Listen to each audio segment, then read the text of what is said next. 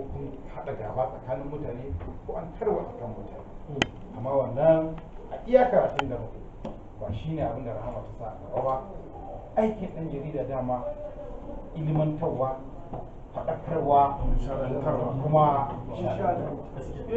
bisa ƙa'ida ta kara haƙƙin ƙasa da mutanen ƙasa da mutuncinsu da al'adarsu da addininsu. Muna yi muku murna ƙwarai da Allah Ubangiji ya kaddara ya kun shekara shida.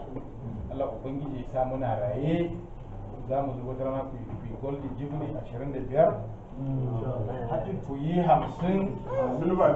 Ko da su ba tsare sun tafi wasu. Kullum ana sa mana dakta muna. So muna godiya ƙwarai ƙwarai da gaske da ka karɓe mu. Duk da lokacin da muka bayar ya gita da wajen awa biyu. Mana tabbatar kun gane cewa mu bayan al'umma ne babu dama inda suka karkata nan zami kamar mutum ne ya ɗauki hayan direba. Yanzu yanzu ya ce maka zai tafi gwarzo ana zuwa kabo bai ce tsaya sai wurin da shi ka tsaya dole so ya riga ƙara lafiya. Ƙara lafiya. Da ka tsaya a wannan lokaci a karɓe mu muna kuma fatan alheri muna addu'a Allah ubangiji ya ɗaukaka wannan guri Amin. Ubangiji ya ƙara wa ma'aikatan basira Amin. su ma da suke gudanar da aikinsu akan wannan Allah ubangiji ya ɗaukaka Amin. Muna kuma hukumar gidan rediyon ta duba kansu ma'aikatan su kansu mun tabbatar da cewa karkuce kuna kuma aiki na ƙwadugo ana ƙoƙari wajen kula da haƙƙinsu amma ya dace a taimaka musu don ƙaro ilimi. Mun shi na nan sai da wani da cikin su sun je conferences sun je seminar. Akwai opportunities da yawa da nake ganin ma'aikatan freedom bai amin da rama suna samu wanda wasu region ba sa samu.